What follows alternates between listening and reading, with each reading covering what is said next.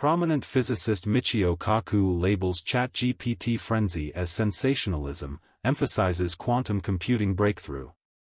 In a recent conversation with CNN's Fareed Zakaria, esteemed physicist Michio Kaku has expressed his view that the current surge of interest surrounding ChatGPT and analogous generative AI technologies is primarily a product of media sensationalism, potentially diverting attention from the imminent strides in quantum computing.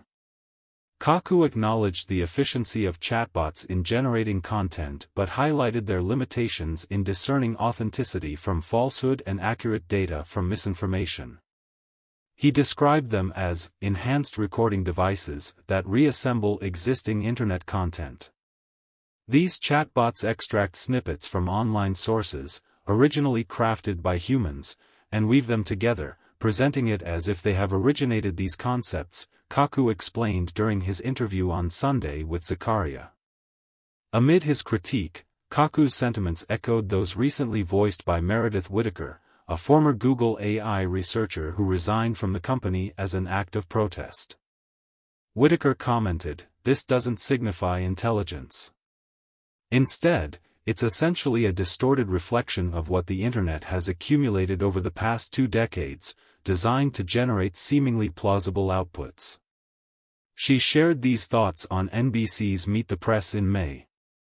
Rather than focusing on the current AI trend, Kaku, a respected authority in particle physics and string theory, sought to redirect attention towards the impending quantum computing revolution, a subject he delves into in his latest book, Predicting a Transformative Impact on History.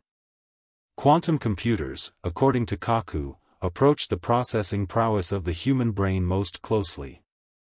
Even now, the natural world surpasses us. The human brain stands as the most intricate entity in the observable universe, he remarked. In advocating for quantum computing's potential, Kaku underscored its parallel processing capabilities, akin to the simultaneous and intricate reactions of the human brain. He clarified that unlike traditional computers, quantum computers leverage qubits operating at incredibly low temperatures to predict probabilities rather than deterministic outcomes. This distinctive feature positions them to tackle intricate problems that even the most advanced supercomputers would struggle with. Kaku used an analogy to elucidate, picture a mouse navigating through a labyrinth. A conventional digital calculator would painstakingly compute the path of each mouse at every junction, at each decision point. This endeavor would take an eternity.